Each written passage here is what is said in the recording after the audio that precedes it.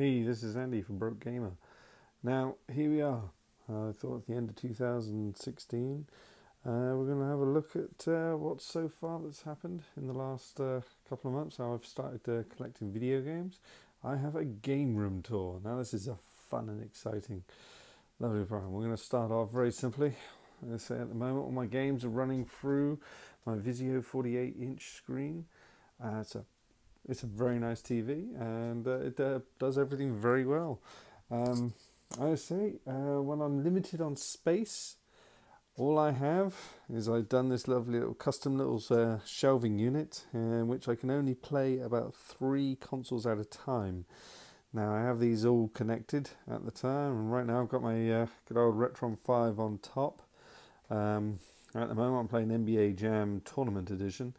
Kind of fun, Got to have the old uh, lava lamp there. As uh, you got the old screwdriver there, just in case the, uh, as if you saw in one of my previous videos, and uh, how uh, to make this thing work properly in my eyes so far. And I have the PS2 underneath, and of course uh, one of my favourite consoles, the N64. And of course, uh, you got the old controllers all on the side. Now I could have this all wired in through uh, component, no, not sorry, component composite cables, um, but I don't. I have a nice little converter on the back here, in which uh, I plug in separately. I uh, haven't got a uh, splitter box yet, and I just take each individual console. Uh, say I think this one's the N64 version, and uh, I plug it straight in, and it goes to a HDMI uh, upscales it to roughly around 720p and it pumps into the back of the TV. Now, of course, you know the Retron 5 already pumps out 720 uh, straight into the back. So, uh, and uh, so you do get a pretty good image. Um, I must admit, I would like a, a proper upscaling unit. But, uh, like I say, that little unit behind here, I think only cost me about uh, 25 bucks I found on eBay and does the job. So I'm pretty happy. Uh, say cable management isn't my forte at the moment. Um, so they all just I could probably tidy them all up and put them behind. But uh, as I say, my nice little custom shelf unit is kind of fun. I do, uh, yeah, it's kind of nice. um, as I say, when we come around, um, I haven't got a great deal of stuff at the moment. And uh, from there, I lucky enough, I don't need a great deal of storage space. So when we come down, I literally I slide underneath my bed. I have uh, all my uh, consoles that I have left. Um, yeah, so you can see there, I've got the Nintendo, GameCube, and original. I got my Sega Dreamcast, and I got a Wii, uh, which I'll do another video on that when I uh, get time. And of course, all the uh, consoles and cables and power cords and uh, controllers all kind of in a bit of a mess, but uh, uh, I'll tidy that up one day.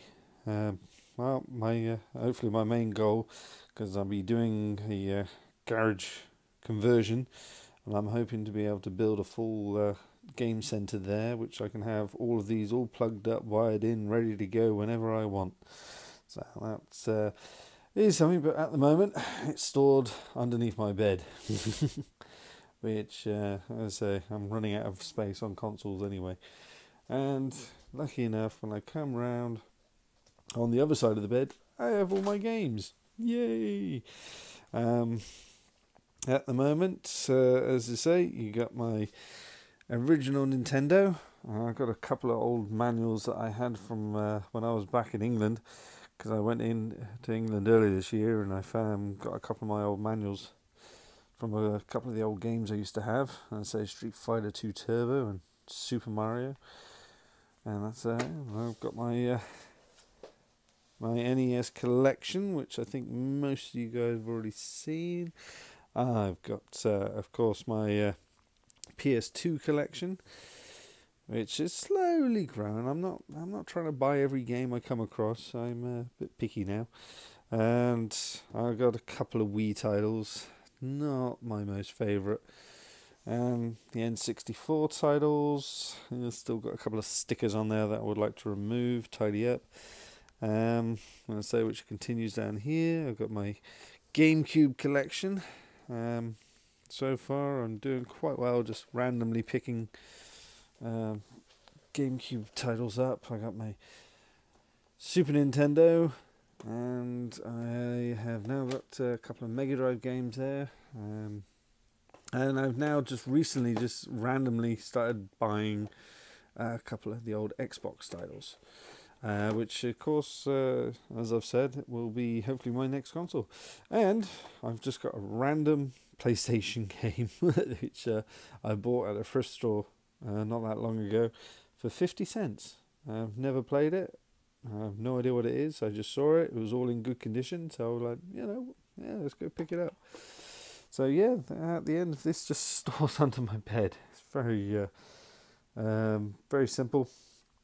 So when you've uh, got uh, my missus and I, we're all living living in one under one roof uh, with two kids, so uh, storage is always at a premium. Uh, so coming back up, yeah, as I said, that's my uh, quick little game room tour. It's not the best in the world. I mean, when you see other people and you line up and they've got whole sh- shelves full of uh, computer games. They've got all their consoles wired in. Listen, I've only been doing this a couple of months, and uh, I really enjoyed it so far, and it's uh, okay, very good.